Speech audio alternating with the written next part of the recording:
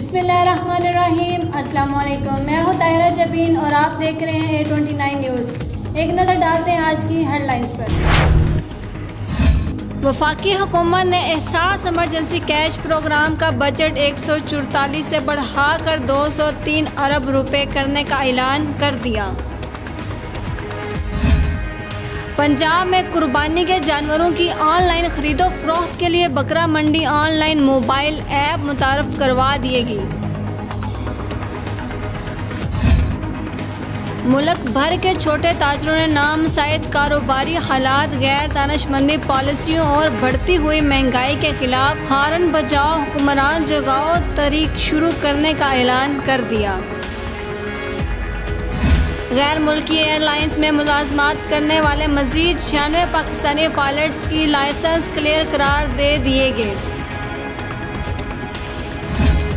लाहौर में कोरोना से बचने के लिए मास्क ना पहनने पर छह शहरियों पर पंद्रह हज़ार रुपये का जुर्माना आयद कर दिया गया।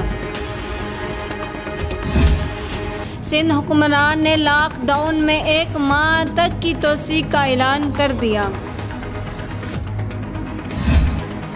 वज़ीर अजम इमरान खान का कहना है कि पाकिस्तान में बिजली पैदा करने की भरपूर सहूलियात मौजूद हैं, ताहम गलत फैसलों से मुल्क की सनती तरक्की को नुकसान पहुँचा।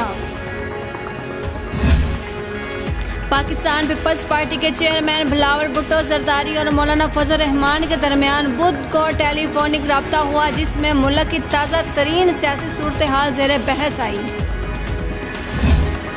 आप खबर शामिल करते हैं खेल के मैदान से। डोमेस्टिक क्रिकेट के टॉप परफॉर्मर फवाद आलम के लिए सदाएँ बुलंद होने लगी। नौजवान विकेट कीपर रोहिल नज़ीर का बाबर आज़म के बैट देखने का ख्वाब पूरा हो गया। अब तक के लिए बस इतना ही। मज़ीद खबरें जानने के लिए देखते रहिएगा ए ट्वेंटी न्यूज़ अल्लाह हाफिज़।